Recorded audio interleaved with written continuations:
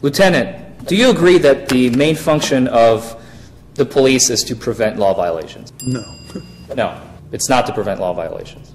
not the main purpose. Is it one of the main functions? Yes, Okay. Do you also agree that an officer or a lieutenant or a commander must follow their instructions and their standards of procedure?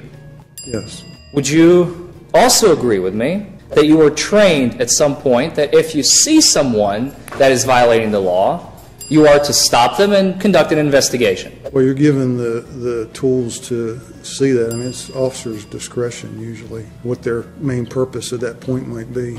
Officer may be going to a call that doesn't allow to stop someone speeding. You got to look at what's more important. But if you see a violation being committed in front of you, would you take action or would you ignore it? If at all possible, I would take action, yes. Thank you.